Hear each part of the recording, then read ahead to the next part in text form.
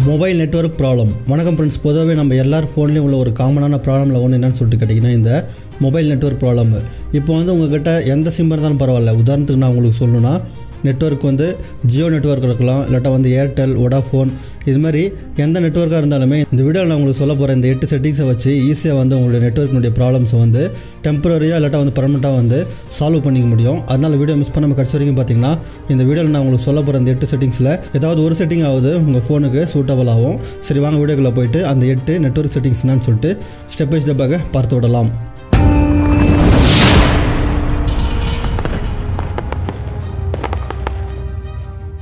இப்போ வீடியோக்கு போகிறதுக்கு முன்னாடி சின்ன ரெக்வஸ்ட்னு சொல்லிட்டு கேட்டிங்கன்னா நம்மளுடைய சேனலுக்கு கீழே வந்து இங்கே சப்ஸ்கிரைப்னு சொல்லிட்டு ஒரு பட்டன் இருக்கும். அதுக்கு மேலே கிளிக் பண்ணிவிட்டு பக்கத்தில் டக்குன்னு ஒரு பில் ஐக்கன் வரும். அது மேலே கிளிக் பண்ணி ஆல்னு சொல்லிட்டு கொடுத்துங்க அதுக்கப்புறம் எங்கள் லைக் பட்டன் வந்து தெரிஞ்சு பார்த்தீங்களா அந்த லைக் பட்டன் மேலே இப்படி கிளிக் பண்ணிவிடுங்க சரி வாங்க வீடியோக்குள்ளே போயிட்டு அந்த எட்டு இம்பார்ட்டன்ட் செட்டிங் என்னன்னு சொல்லிட்டு ஸ்டெப் பை ஸ்டெப்பாக பார்த்து விடலாம். இப்போ நம்ம முதல்ல பார்க்க போகிற செட்டிங் என்னன்னு சொல்லிட்டு கேட்டிங்கன்னா ரீசெட் நெட்வொர்க் அதாவது உதாரணமாக நான் உங்களுக்கு சொல்லணும்னா நீங்கள் யூடியூப்ல இல்லாட்டா வந்து கூகுளில் வந்து சர்ச் பண்ணி மொபைல் நெட்வொர்க்கை வந்து நிறையா சேஞ்ச் பண்ணி வச்சு பார்த்துருப்பீங்க. உதாரணத்துக்கு ஏபிஎன் செட்டிங்ஸ் அதுக்கப்புறம் இது மாதிரி நிறைய செட்டிங்ஸ் வந்து நீங்கள் சேஞ்ச் பண்ணி வச்சிருப்பீங்க. இதனாலே வந்து ஒரு சில மாதங்களுக்கு அப்புறம் உங்கள் நெட் வந்து ரொம்ப ஸ்லோவாகிட்டு இருந்திருக்கும். அதெல்லாத்தையும் வந்து நீங்கள் ரீசெட் பண்ணணும் அப்படின்னு சொல்லிட்டு நினச்சிங்கன்னா இங்கே வந்து உங்களுடைய ஃபோனில் உள்ள செட்டிங்ஸ் எங்கன்னு சொல்லிட்டு தேடி செட்டிங்ஸுக்கு போய்ங்க இப்போ நீங்கள் செட்டிங்ஸுக்கு போய் இது கிளிக் பண்ணதுக்கப்புறம் இங்கே வந்து நெட்வொர்க் அண்டு இன்டர்நெட்னு சொல்லிட்டு இருக்கும். உங்கள் ஃபோனில் வந்து எப்படி சொல்லிட்டு பாருங்கள் இல்லாட்டா வந்து நீங்கள் சர்ச்சில் என்ன பண்ணுறீங்கன்னா ரீசெட் நெட்ஒர்க்னு சொல்லிட்டு கொடுங்க.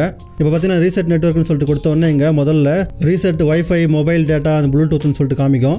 இப்போ நீங்கள் இது மேலே கிளிக் பண்ணிவிட்டு இங்கே வந்து எரேஸ் டவுன்லோட்ஸ் அதுக்கப்புறம் எல்லா ஆப்ஷனும் காமிக்குது. இங்கே பார்த்தீங்கன்னா எரேஸ் டவுன்லோட்ஸ் அதுக்கப்புறம் ரீசெண்ட்லி எந்தெந்த ஐட்டம்ஸ் எல்லாம் வந்து இருக்குதுன்னு சொல்லிட்டு காமிக்குது. அதுக்கப்புறம் ஒய்ஃபை மொபைல் டேட்டா ப்ளூடூத்துக்கான நெட்ஒர்க்கில் ரீசெட் பண்ண சொல்லி கேட்குது நீங்கள் என்ன பண்ணுறீங்கன்னா டவுன்லோட்ஸ் ஏதாவது வேணும்னு சொல்லிட்டு கேட்டிங்கன்னா இங்கே வச்சுக்கோங்க. இல்லாட்டா வந்து இதையும் செலக்ட் பண்ணிவிட்டு இங்கே வந்து ரீசெட் நெட்ஒர்க்னு சொல்லிட்டு கேட்குது பார்த்தீங்களா இந்த ரீசெட் நெட்ஒர்க் மேலே இப்படி கிளிக் பண்ணிக்கங்க. இது மாதிரி ரீசெட் நெட்ஒர்க் மேலே கிளிக் பண்ணதுக்கப்புறம் இங்கே வந்து பாஸ்வேர்டு கேட்கும். நீங்கள் வந்து அந்த பாஸ்வேர்டை கொடுத்து உங்களுடைய ஃபோனை வந்து ரீசெட் பண்ணிக்கலாம். இப்போ நான் இப்போ வந்து என்னுடைய பாஸ்வேர்டு நான் போட்டுக்கிறேன். இது மாதிரி பாஸ்வேர்டை போட்டு நீங்கள் வந்து இங்கே என்ட்ரன்னு சொல்லிட்டு கொடுத்துருங்க. இப்போ பார்த்தீங்கன்னா வார்னிங் கேட்குது reset all network settings and delete download SIMs can't undo this action சொல்லிட்டு கேட்குது இப்போ நீங்கள் என்ன பண்ணுறீங்கன்னா உங்களோட சிம்மில் இருக்கிற ஏதாவது முக்கியமான டேட்டா காலி ஆகக்கூடாது அப்படின்னு நினச்சிங்கன்னா பேக் வந்துட்டு இங்கே வந்து எரேஸ் ஆல் டவுன்லோட் சிம்ஸ்னு சொல்லிட்டு இருக்குது பார்த்தீங்களா? இதை நீங்கள் அன்செக் பண்ணிவிட்டு அதுக்கப்புறம் வந்தீங்க ரீசெட்னு சொல்லிட்டு கொடுத்துட்டு உங்களுடைய பாஸ்வேர்டு இங்கே போட்டு ஓகே கொடுத்துங்க. இப்போ வந்து பார்த்தீங்கன்னா reset all network settings you can't undo action சொல்லிட்டு கேட்குது நம்ம என்ன பண்ணுறோம் ரீசெட் செட்டிங்னு சொல்லிட்டு கொடுத்துட்றோம். இப்போ வந்து நெட்ஒர்க் வந்து ஃபுல்லாக ரீசெட் ஆகிட்டோம் அதுக்கப்புறம் பேக் வந்துங்க பேக் வந்துட்டு இப்போ ரெண்டாவது செட்டிங்னு சொல்லிட்டு பார்க்கலாம். இது மாதிரி உங்களுடைய ஃபோனில் உள்ள நெட்ஒர்க் எல்லாம் வந்து கிளியராக ரீசெட் ஆகிடும் ரீசெட் ஆனதுக்கப்புறம் நம்ம என்ன பண்ண போகிறோம் இப்போ ரெண்டாவது செட்டிங்னு சொல்லிட்டு பார்த்துடலாம். ரெண்டாவது செட்டிங் நம்ம என்ன பார்க்க போகிறோம் சொல்லிட்டு கேட்டிங்கன்னா கிளியர் ஜங்க் ஃபைல்ஸ் இதுக்கு என்ன பண்ணுறீங்கன்னா உங்களுடைய ஃபோனில் ஸ்டோரேஜ் ஜங்க்னு சொல்லிட்டு பாருங்க. ஸ்டோரேஜுக்கு போயிட்டு இங்கே வந்து பார்த்தீங்கன்னா உங்கள் ஃபோனில் மெமரின்னு சொல்லிட்டு எங்கன்னா இருக்கும். மெமரியில் போயிட்டு நீங்கள் கிளியர் ஜங்க் ஃபைல்னு சொல்லிட்டு கொடுத்துக்கலாம். இப்போ என் ஃபோனில் வந்து பார்த்தீங்கன்னா இங்கே மேனேஜ் ஸ்டோரேஜ்னு சொல்லிட்டு இருக்குது. இந்த மேனேஜ் ஸ்டோரி ஸ்டோரேஜ் மேலே இப்படி கிளிக் பண்ணிவிட்டு இங்கே வந்து ஃபைல்ஸுக்கு வருது கூகுள் ஃபைல்ஸ்க்கு இந்த கூகுள் ஃபைல்ஸில் வந்து பார்த்தீங்கன்னா நீங்கள் ஜங்க் ஃபைல்ஸ்னு சொல்லிட்டு இருக்குது இதை இது வந்து கிளியர் பண்ணிக்கோங்க. ஏன்னு சொல்லிட்டு கேட்டிங்கன்னா இந்த ஜங்க் ஃபைல்ஸ் வந்து தேவையில்லாமல் உங்களுடைய டேட்டாவை கன்சியூம் பண்ணுறதுக்கு வாய்ப்புகள் இருப்பதால் நீங்கள் வந்து ஜங்க் ஃபைல்ஸ் எல்லாம் வந்து கிளியர் பண்ணிக்கங்க. கிளியர் பண்ணதுக்கப்புறம் இப்போ நம்ம என்ன பண்ண போகிறோம் மூணாவது செட்டிங்கை ஒன்று பார்த்துடலாம் செட்டிங் பேர் என்ன சொல்லிட்டு கேட்டிங்கன்னா நெட்ஒர்க் ஆப்ரேட்டர் அதாவது உதாரணமாக உங்களுக்கு சொல்லணும்னா இதை நம்ம டபுள் ஒன் டபுள் ஜீரோ இருந்துச்சு பார்த்தீங்களா ஃபோனு அந்த டைம்லேருந்து நம்ம யூஸ் பண்ணிருந்துருப்போம்.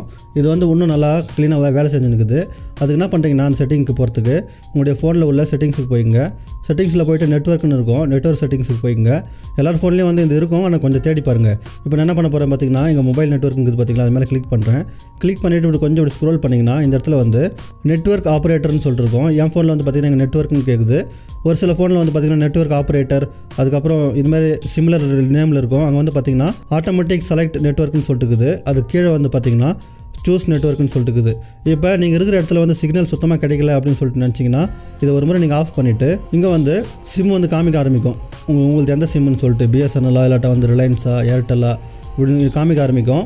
நீங்கள் வந்து மேனுவலாக வந்து ஏர்டெல்லாக இருந்துச்சுன்னா ஏர்டெல் ஜியோவாக இருந்துச்சுன்னா ஜியோ வந்து நீங்கள் செலக்ட் பண்ணிக்கலாம். இப்போ நான் ஏர்டெல் செலக்ட் பண்ணிட்டேன். செலக்ட் பண்ணிவிட்டு இப்போ பேக் வந்துக்கிறோம்.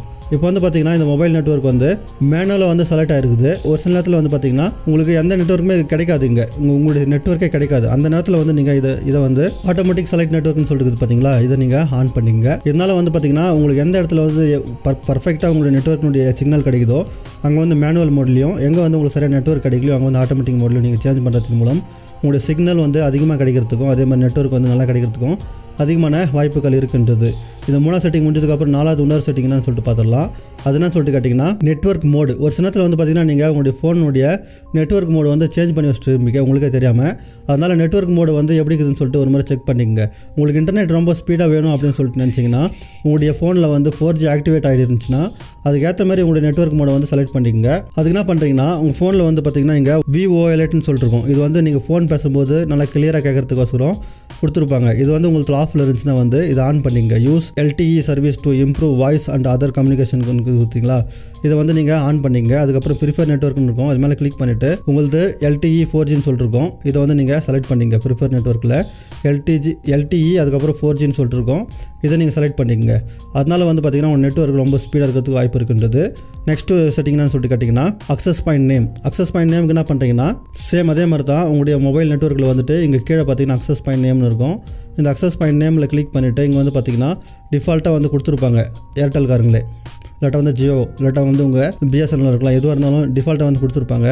இதை ஒரு சில நேரத்தில் நீங்கள் சேஞ்ச் பண்ணி வச்சுருந்துருப்பீங்க அது வந்து திருப்பி டிஃபால்ட்டாக அதுவே வேணும் அப்படின்னு சொல்லிட்டு நினச்சிங்கன்னா இந்த மூணு மார்க் மேலே கிளிக் பண்ணி ரீசெட் டிஃபால்ட் நெட்ஒர்க் பார்த்தீங்களா இது மேலே ஒரு முறை கிளிக் பண்ணிங்க. இந்த மூணு மார்க் மேலே கிளிக் பண்ணி ரீசெட் டிஃபால்ட் நெட்ஒர்க்னு கொடுக்குறது மூலம் என்ன சொல்லி கேட்டிங்கன்னா ரீஃப்ரெஷ் ஆகி உங்களுடைய நெட்ஒர்க் வந்து வர ஆரம்பிக்கும். இதனால் நெட் ஆட்டோமேட்டிக்காக ஸ்பீட் ஆகிறதுக்கு வாய்ப்புகள் அதிகமாக இருக்கின்றது. இந்த செட்டிங்ஸ் எல்லாமே வந்து முடிஞ்சதுக்கு அப்புறம் என்ன பண்ணுறேன்னு சொல்லிட்டிங்கன்னா இந்த செட்டிங்ஸ் எல்லாம் முடிஞ்சதுக்கு அப்புறம் அதுக்கப்புறம் என்ன பண்ணுன்னு சொல்லிட்டு கேட்டிங்கன்னா உங்களுடைய ஃபோனை வந்து இப்படி ஃபுல்லாக ப்ரெஸ் பண்ணி ரீஸ்டார்ட்னு சொல்லிருக்கோம் இந்த ரீஸ்டார்ட் ஃபோனை ஃபோனை வந்து ஒரு முறை ரீஸ்டார்ட் பண்ணிங்க.